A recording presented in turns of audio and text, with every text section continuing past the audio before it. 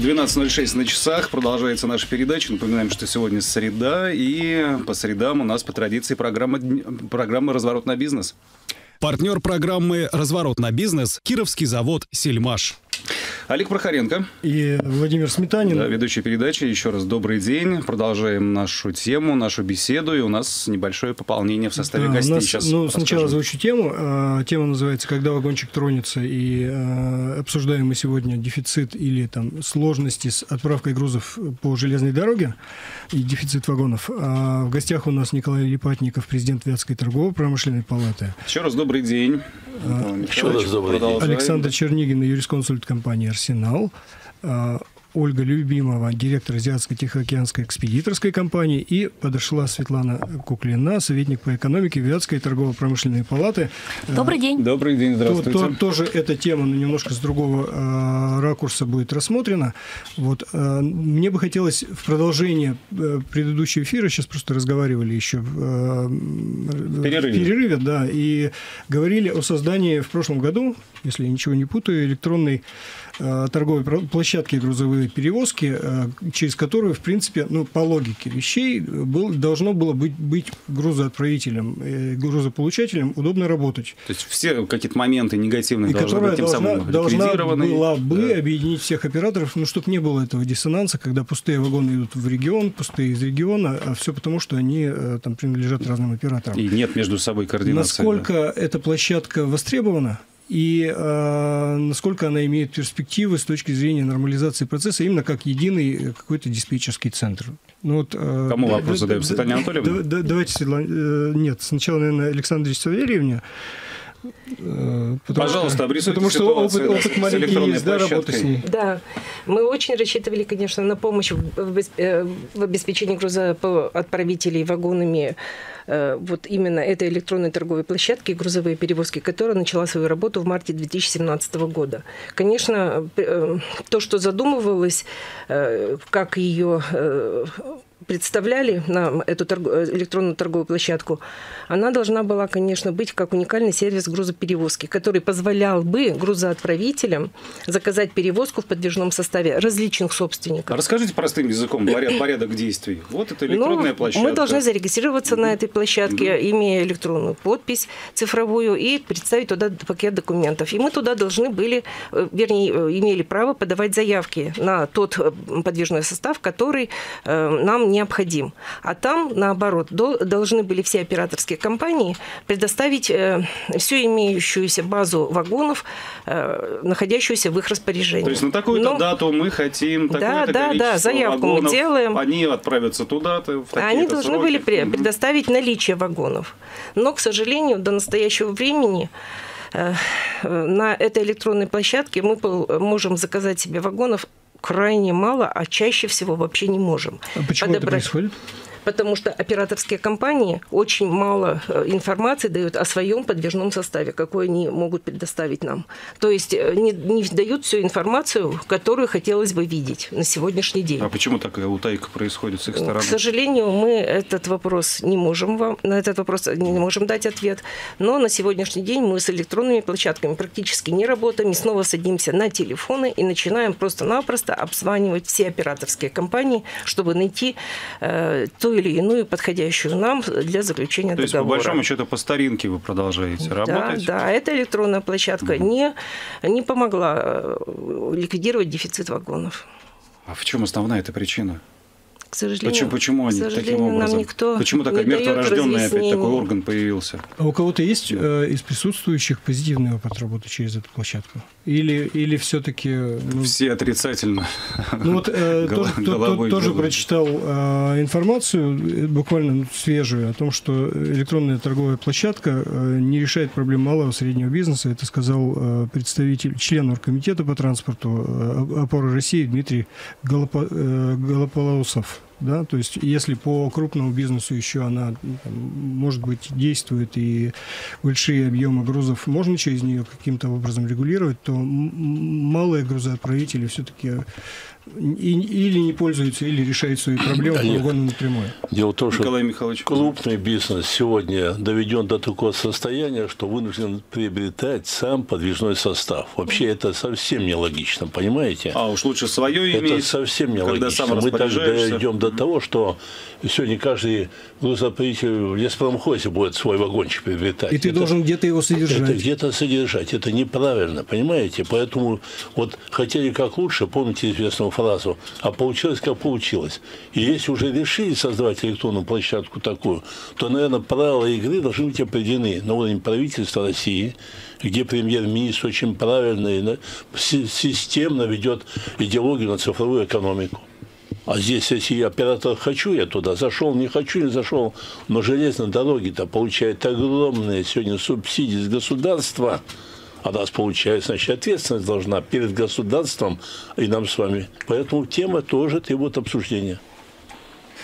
Э, Обратимся к нашей новой гости. Да, да, к Ольге Николаевне Любимой. Э, э, прошу Светлане Анатольевне Куклиной. Да, поближе микрофон. Советник по экономике Вятской торгово-промышленной палаты. Светлана Анатольевна хорошо очень ну, является экспертом, я считаю, по теме поставок грузов, продуктов питания, производства Кировского на, на север по железной дороге. Вот какие у вас проблемы? Есть ли проблемы, во-первых, с вагонами, с поставками вагонов?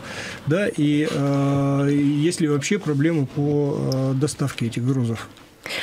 Ну, прежде чем э, озвучивать проблему с вагонами, я бы хотела обозначить важность проблемы для региона Кировской области, для нашей области. Вот знаете, уникальная особенность Кировской области заключается в том, что у нас огромное количество предприятий, производителей продуктов питания. Вот чтобы вы понимали, э, есть регионы, в которых э, доля этих продуктов составляет в структуре э, продаж предприятий 10%. У нас около 60% товаров на полках магазинов – это товары местных производителей. Это очень редко. И это та молочная продукция, мясная Вообще, продукция. абсолютно весь спектр, то, можно чем сказать. Мы гордимся, и да. минеральная вода, и квасы, и майонез, и кетчуп, это можно бесконечно говорить. Нам очень повезло. Наши соседи, ближайшая республика Коми, это тот регион, в котором практически нет продуктов питания, которые производятся на месте, за исключением, ну, может быть, хлеба, каких-то продуктов, которые быстро изготавливаются. Особенности региона в том, что у них не так развито сельское хозяйство, уже климатические особенности и так далее. Э, мы ближайший сосед. Это второе наше конкурентное преимущество. То есть с точки зрения доставки транспортных расходов товары вести наиболее выгодно именно из нашего региона. Ведь все знают о том, что в структуре затрат транспортные расходы занимают второе место. То есть доставляя продукты питания из нашей области, мы уже изначально становимся более конкурентоспособными. То есть наши товары могут уже быть в более выигрышной позиции, если они заявляются на тендера. Светлана Треть... Анатольевна, надо пояснить, а при чем здесь железная дорога? Есть другие виды транспорта? Значит, поясню. Опять же... И федеральная а, трасса. Э, хорошо, все правильно вы говорите. Действительно, те э, значит, области и районы, где есть автомобильная дорога, услугами железной дороги не пользуется никто. Вот это факт, который сложился на сегодня. Если есть хоть малейшая возможность доставить товар автомобильным транспортом, именно так все и поступают. Простая экономика, Простая да? экономика. Это, это не только простая экономика, дальше мы придем, еще какие факторы на это влияют. Особенность Крайнего Севера как раз в том и заключается, что туда нет никакого другого варианта доставить продукты питания, кроме железной дороги. Вот так сложилось, больше нет. И сегодня продукты питания, например, Республику Коми, там вот, э, допустим, Ямало-Ненецкий округ и так далее, все, что севернее нас, оно поставляется туда только железной дорогой. Основные каналы поставки, конкуренты нашего региона, опять же, чтобы было понимание, это Санкт-Петербург. То есть есть ветки железной дороги, это не из любого угла завезешь. То есть откуда товар поставляется, так вот они идут из Кирова, они идут Санкт-Петербурга, и когда идет э, значит, торги, вот основные компании, которые заявляются из этих регионов. То есть, казалось бы, нам очень повезло, все сложилось. У нас есть огромное количество производителей продуктов питания, мы ближайший совет, э, сосед, что называется, участвуйте, выигрывайте, развивайте регион. С чем столкнулись предприятия сегодня, находящиеся в Кировской области? Документы, которые регламентируют порядок перевозов, перевозок настолько устарели, что фактически они сегодня являются не только сдерживающим фактором перевозок, а фактически остановили эти перевозки. То есть устав железной дороги, правила перевозки создавались 15-20 лет назад. Во-первых, в документах, которые регламентируют перевозки, отсутствует огромное количество товаров, которые сейчас появились. Например, сырный продукт. Например, изделия с кондитерской, а не с шоколадной глазурью. Это абсолютно разные с точки зрения температуры хранения э, значит, э, товары. Нет сухих там дрожжей, нет кормов для животных. Я могу долго перечислять, просто вот проблема такая. А их что, нельзя перевозить или что? А их нет. Да, а... их нет в единой тарифно-статической номенклатуре грузов. То есть ты не знаешь, какой код им перевозить, и ты фактически везешь их уже рискуя. Как, как этот товар оценит да, железная дорога и к какой группе она его отнесет. То есть есть уже судебные иски, когда, например, люди, считая что-то кондитерские изделия, перевозили при одной температуре, которая соответствует этикетке производителя, Железная дорога трактовала, что это шоколадное изделие, поскольку там есть какао-порошок, а это совсем другие правила перевозки. Шоколад плавится, если вы возьмете в руки, там совсем при другой температуре. Mm-hmm. То есть это разные с точки зрения сроков хранения и условий хранения, и правил перевозки продукты. Например, ультрапастеризованное молоко. 20 лет разве оно было? Что это такое? 20 лет назад никто не мог себе представить, что товар можно хранить не Месяц, в холодильнике. Молоко можно, можно перебивку хранить. сделать. Николай Михайлович, да, и потом небольшую паузу. Перебивку да сделаю.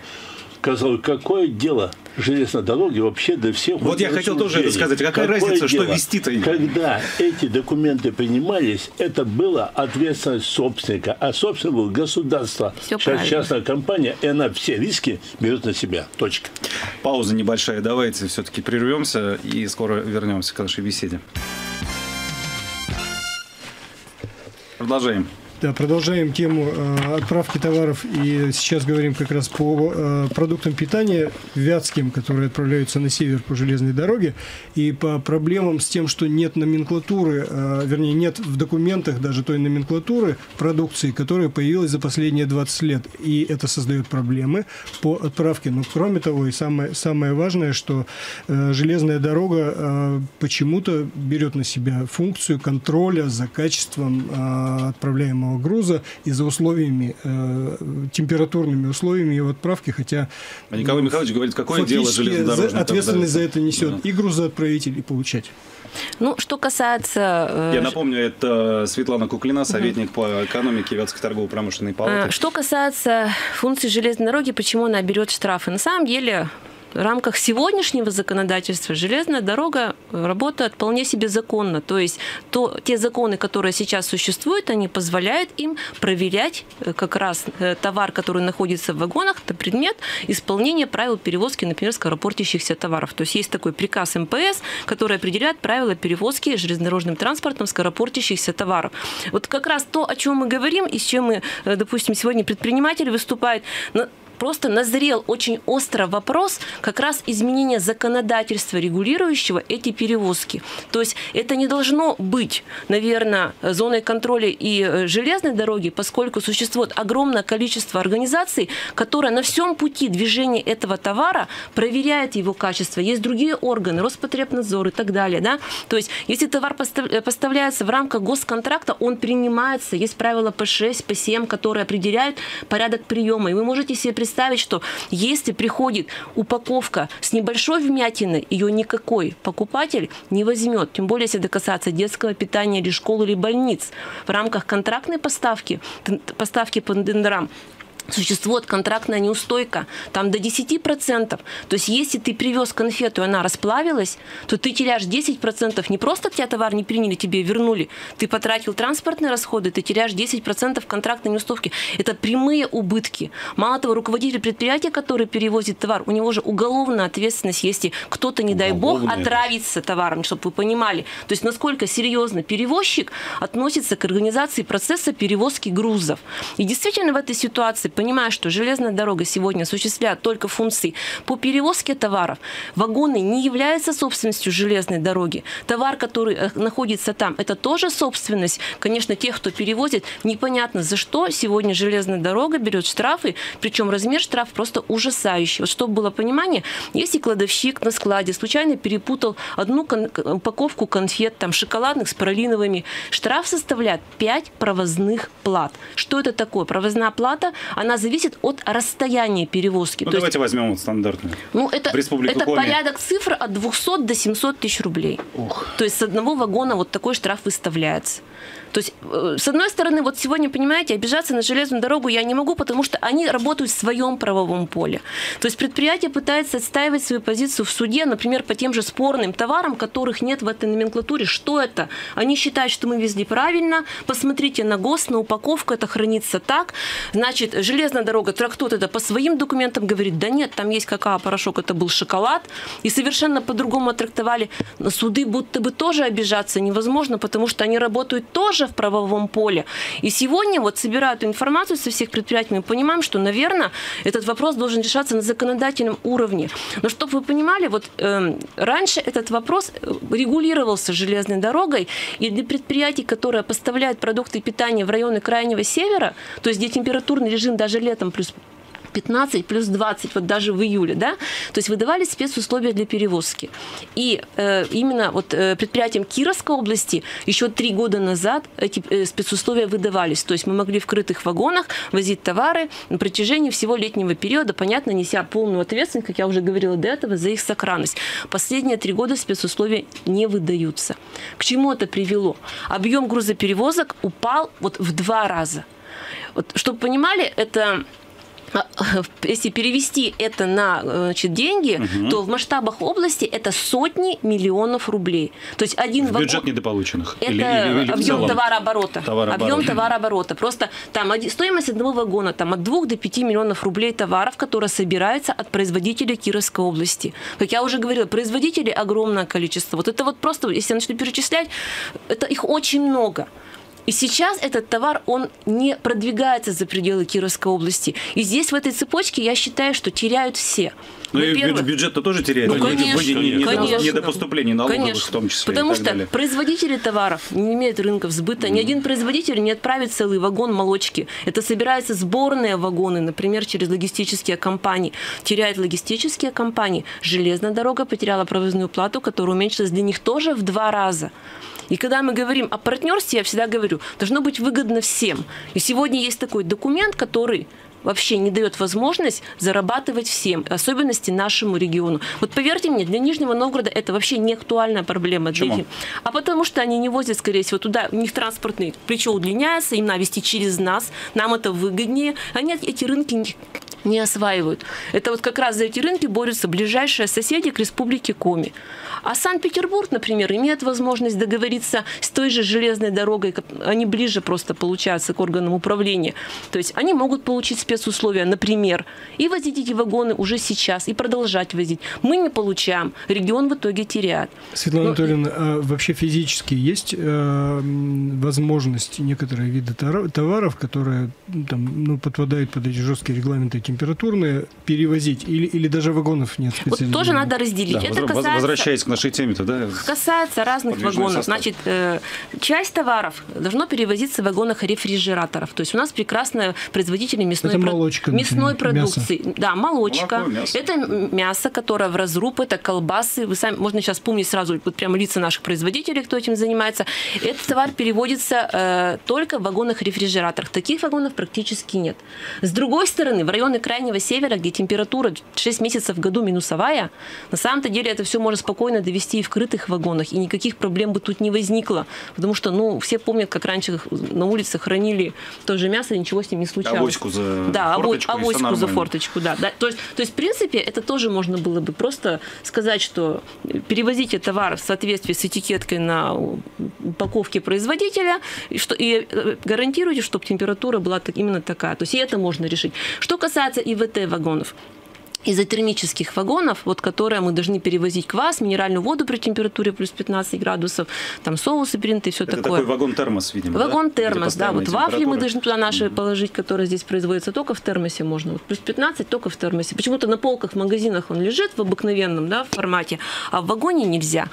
Эти вагоны сейчас, слава богу, они есть в наличии, но бывают перебои. То есть зимой были периоды, когда вот был период, даже месяц не было вагонов. А зимой они тоже нужны? Да, они нужны всегда.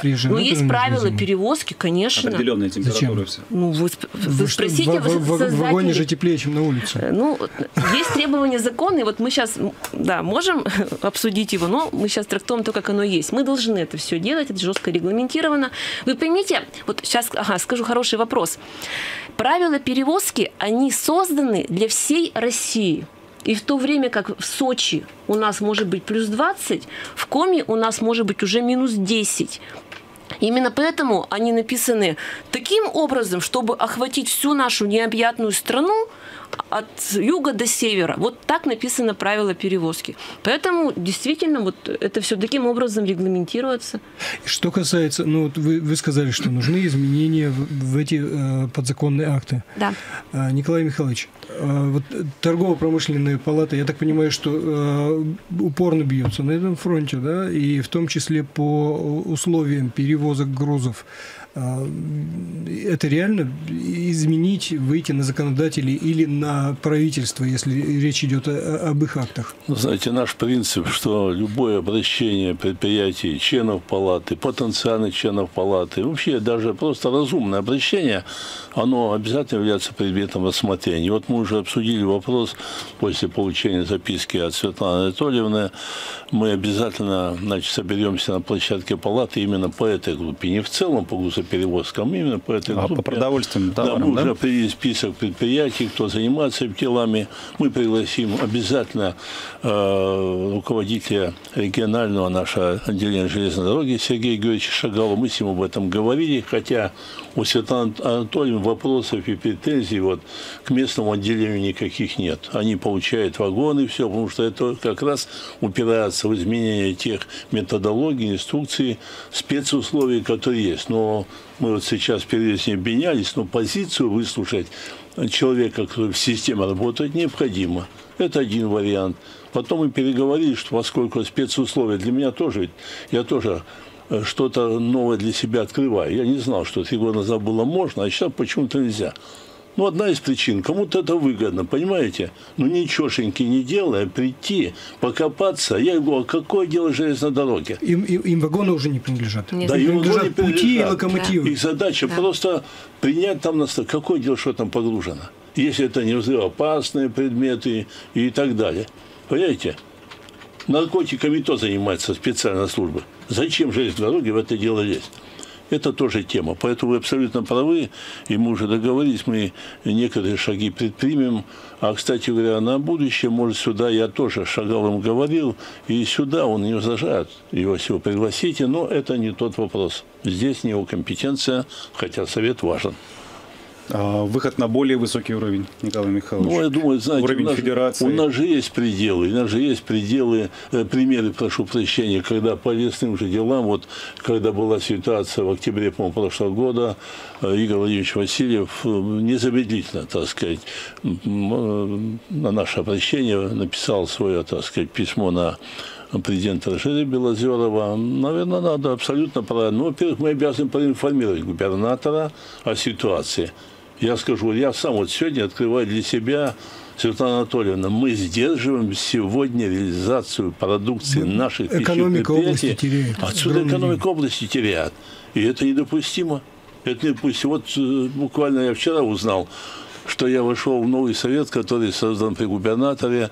Это по инвестиционной политике и поддержке малого и среднего бизнеса. Думаю, что я там сопредседатель, и я буду с удовлетворением, с удовольствием свои предложения носить в эту работу.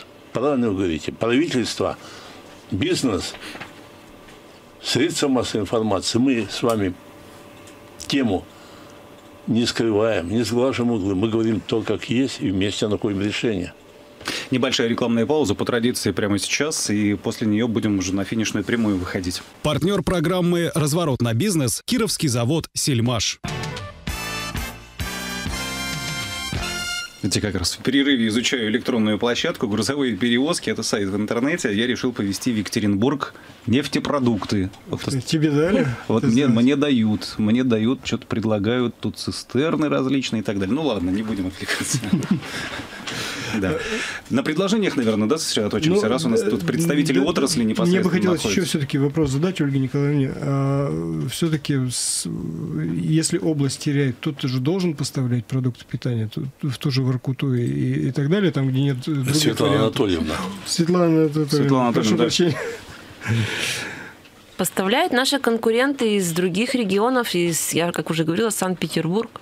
А Вологда нам не конкурент, она тоже тут Вологда, под боком. она по железной дороге. Я же еще раз говорю, там не с каждого края завезешь. Mm-hmm. Должны быть по железнодорожным веткам. Mm-hmm. Нам же сказали, что нам повезло. Сильно нам повезло. повезло. Да. Нам сильно нам повезло, повезло, что в конце 19 века у да. нас да. Перемкотловская железная да. дорога начала да. строиться. Да. Абсолютно. А мы этим почему-то вот сейчас не можем в этой ситуации, знаете, нормально. у кого-то нефть, у кого-то газ. Mm-hmm. А у нас железнодорожная ветка и огромное количество производителей продуктов питания. Удивительно, что сейчас у нас нет возможности воспользоваться нашими конкурентными преимуществами преимуществами, чтобы наш край процветал. А если немножко отвлечься все-таки на автомобильные перевозки, хоть это и не, не тема, конечно, нашей сегодняшней беседы, но вот э, если сравнивать, где выгоднее, где невыгоднее, вот в чем... особенно с появлением Платона. Да, с появлением Платона, да плата, понимаете, плата за тонну, я скажу да, сейчас. Да. Ведь понимаете, э, затраты на перевозку, они э, складываются из совокупности всех затрат, включая те штрафы, которые ну, платят конечно. предприятия при проверках э, железной дорогой. Так вот, сегодня практика показала, что на 100% ситуации, когда ты рискуешь попасть под 100-тысячные там, штрафы, выгодным становятся именно перевозки автомобилем. И показателем является что, то, что на сегодня там, где есть железная дорога, полностью логистические компании перешли на перевозку товара автомобилями. Обратную сторону Наоборот, этого... там, где есть э, нормальная автомобильная дорога, да. Просто обратная сторона этого мы тоже все ощутили. Вот э, еще, скажем так, 10-15 лет назад очень активно использовался железнодорожный транспорт. Все прирейсовые склады, которые есть на предприятиях, они были загружены товаром. В последнее время все перешли на перевозку автомобильным транспортом. Именно поэтому автомобильные дороги в очень короткий срок пришли в полное разрушение. Ведь опять же, если возьмете сайт Платона, там есть четкая информация о силе воздействия на автомобильное дорожное покрытие грузового автомобиля. Угу. Оно в 40 тысяч раз выше, чем легкового автомобиля. Да. То есть 40 тысяч легковых машин сопоставимы с одним 40-тонным грузовиком Еврофуры, которая везет. И мы все удивляемся, от чего вдруг все автомобильные дороги у нас пришли в такую негодность. Так вот, я считаю, что ключевой фактор в этой ситуации как раз и связан с тем, что в силу вот этих запретов, ограничений, регламентов предприниматели выдавили с рынка перевозок товаров, mm-hmm. скажем, через, с помощью железнодорожного транспорта, и все перешли там, где проще, где меньше регламентов, где меньше запретов, где меньше ограничений, стали возить товары именно автомобильным транспортом. Ну так может это есть заговор автоперевозчиков против железнодорожных дорожников, может, как-то об этом... А давайте вопрос зададим Светлане Анатольевне. А можно в фуре автомобильной вести вместе, скажем, с упакованными продуктами питания, неважно, майонез, там что-то, скажем, пластику, посуду, туалетную бумагу. Ну, Николай Михайлович задал вопрос и сам улыбнулся. Конечно, можно, Николай Михайлович. Вы понимаете, э... вот какой парадокс, а? То Везем в автомобиле грузы, можно? Конечно, там можно, можно, здесь нельзя. Потому что где-то наживается на штрафах. С кого? С производителя и перевозчика. И вот кто-то должен в нашем Отечестве задуматься об этом деле. А то, что дороги разрушают, конечно, опять кто вкладывает в восстановление дорог? Бюджет, значит, в том числе в какой-то степени мы с вами. И автомобилисты, да, через налог. Ну, налог и система-то Платона у нее предназначение, как нам заявлялось, это ремонт, собственно, и восстановление да, да, дальнейшее. Да. Да, а сейчас э, все-таки есть много случаев, когда автомобильный транспорт применить нельзя. Есть виды товаров, которые э, требуют именно перевозки по железной дороге. Есть направления, куда возможны только железнодорожные перевозки. Но э, для того, чтобы эту ситуацию улучшить, мы же не хотим идти в тупик, да, э, и консервироваться в том состоянии, в котором есть. Что нужно сделать? Вот э, кто как не вы, можете подсказать вот эти механизмы выхода из тупика. Александр Савельев. Ну, я думаю, знаете, что нужно... Компания, первую... Юрисконсульт компании «Арсенал», напоминаю. В первую очередь, конечно, нужно э, решить очень много вопросов на законодательном уровне, чтобы у нас не было вот таких перекусов в деятельности различных организаций, которые действуют в одном направлении. Как вот, допустим, операторские компании и ОРЖД. Я думаю, что у них э, интересы должны быть, должны совпадать, и они должны удовлетворять потребности всех наших грузоотправителей.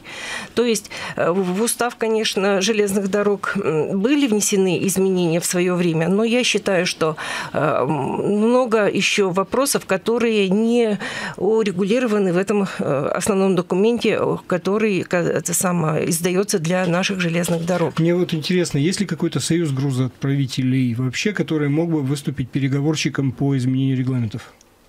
И... Мне такой неизвестен, к сожалению. То есть здесь, по идее, по логике, должна общественная организация, представляющая ваши интересы, садиться за стол переговоров с РЖД и говорить, что вот, вот это и это давайте будем менять.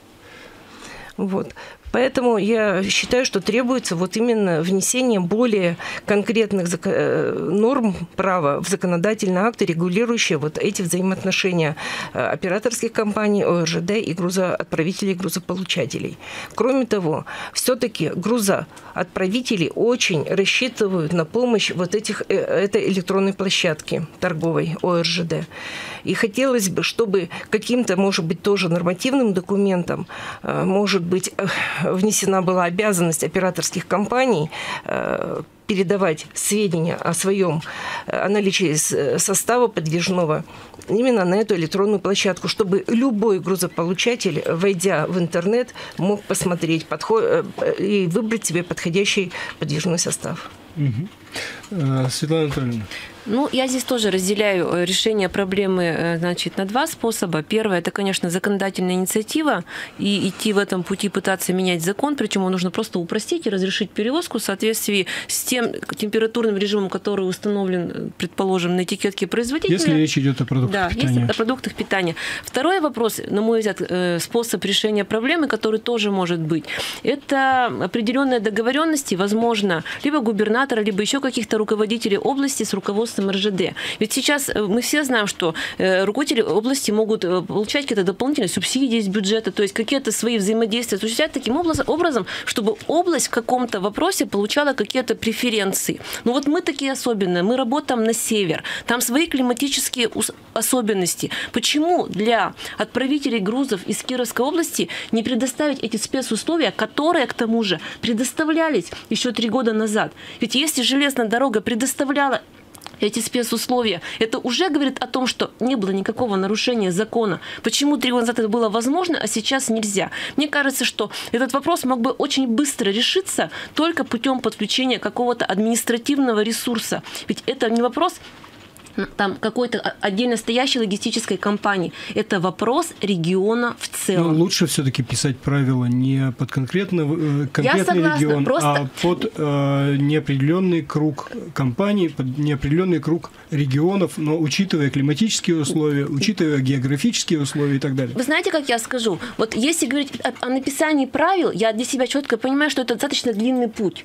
Это, знаете, там есть комитеты, которые занимаются разработкой законов. В этом направлении нужно идти, я это сразу сказала. А пока они принимаются, а пока они принимают, можно гораздо короче, умереть. быстрее сделать это со стороны, например, какой-то инициативной группы из правительства области и сказать, вот э, это нужно сделать для нашего региона здесь и сейчас. Дайте просто письма, это ничего сложного. Разрешительная бумага тем, кто обратился, кто в этом заинтересован. И идти в двух направлениях. Да, мы каждый раз зависим, мы эти письма пишем, мы просим. Вот нам три раза, там, там допустим, ну, предприятиям три раза там отказали, могут дать, могут не дать. То есть я считаю, что в двух направлениях и одно другое не перечеркивает. Да, должна быть законодательная инициатива, можно как угодно переписывать, но это долго. Это пока пишут, пока юристы там это все оформляют, какой-то закон, пока три чтения и куда-то там пришло. Это можно годами сидеть, как вы сказали, э, ну, теряют все. А короткий путь, на мой взгляд, очень короткий. Это кто-то с кем-то сходил, обсудил, договорился. Ведь мы не просим денег. Вот на самом деле сейчас мы говорим, да, о такой серьезной проблеме, которая не стоит вообще никаких денег. Мы не просим никаких инвестиций, мы не просим никаких субсидий. Мы просим просто дать разрешение, э, которое, в принципе, выдавалось раньше. Угу. Вот Ольга, Ольга Николаевна, ваше мнение, как да. изменить можно ситуацию? Да, я Микрофон поближе, пожалуйста. Полностью поддержу Светлану Анатольевну в части вот, нормативной документации, то, что она измени... должна измениться. Э, пересмотреть устаревшие технологии, э, вот именно в погрузках, да, тоже все нужно менять э, под современные условия грузоперевозок.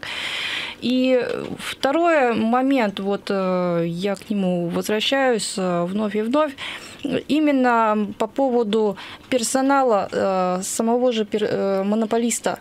Да, на сегодняшний день не клиентоориентирован, как я уже говорила. То есть поменять то есть, когда, э, грубо говоря, приемоздатчик будет перегрызать горло за грузоотправителя своему начальнику станции, доказывать, когда ну, начальник станции, ну, да, когда начальник станции будет бороться э, со своим начальником ДС и так дальше, тогда будет эффективность. Сегодня все с точностью до наоборот. То есть э, сегодня так, давят... простите, вряд ли они в этом заинтересованы. Вот они, есть у них свой набор функций. Будут да, они бороться? Да, должны одну... быть замотиви... да, замотивированы. Но от, это все... Будут бороться, одну зарплату груза, получат. Не будут, эту же получат. Э, нет, нет, нет, нет. У них премии, кстати, э, их премиальные очень сильно зависят от грузооборота, от который того, падает. Того... Который угу. падает. Понимаете, в чем дело?